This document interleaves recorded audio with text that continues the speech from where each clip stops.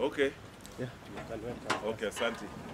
Uh, thank you so much. There are many plans that he has shared with me about the production, about agriculture, about the infrastructure, education, health, and other things.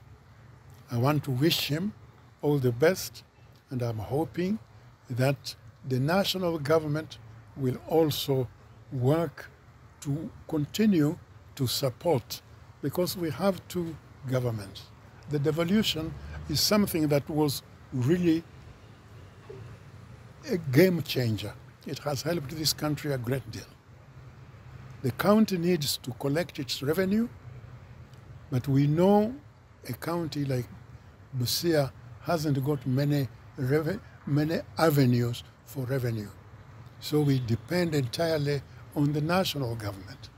That means that the, na- the county government must work with the government. Maandamano should not be there. I'm sorry, I may be embarrassing the, the governor, but I'm quite clear that the elections are gone. Let us now work towards fulfilling the requirements of the people.